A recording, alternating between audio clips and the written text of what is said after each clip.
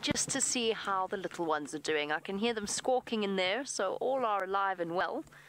And you see it there, that funny little hole in the knot in the tree. This one? It is indeed that one. Oh, I can't see your monitor.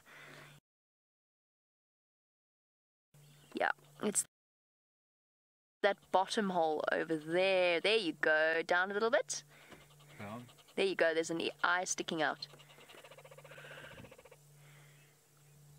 Dear watcher, looking at our birds, you would like to know how is a bird connected to a snake?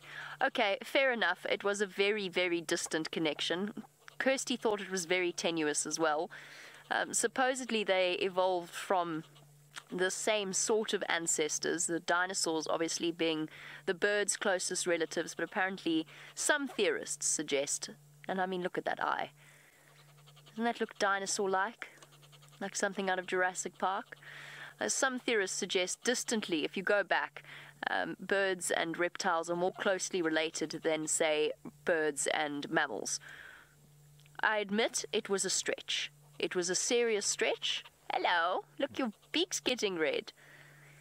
It was a stretch. Kirsty was correct. It was a little bit of a leap of a, a link. Sometimes the links go a bit pear-shaped, but that was that was the connection that I made in my mind in terms of relatives of birds and reptiles being related.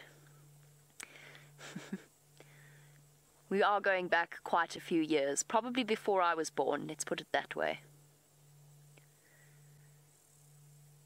I was going to make a comment, but I won't because I know James will find it very boring and quite, quite offensive, so I won't at all. Hey, little birdie, where's your sibling? I only see one of you today. Last time I came to visit this red-billed hornbill nest, there were two of them.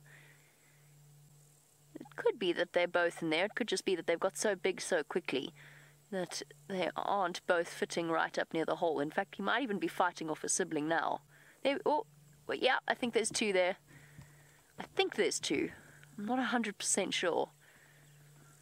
And now we... Look, I'm sorry, that's very Jurassic Park. Is it not? Especially think that since they think that a lot of the later dinosaurs were probably feathered.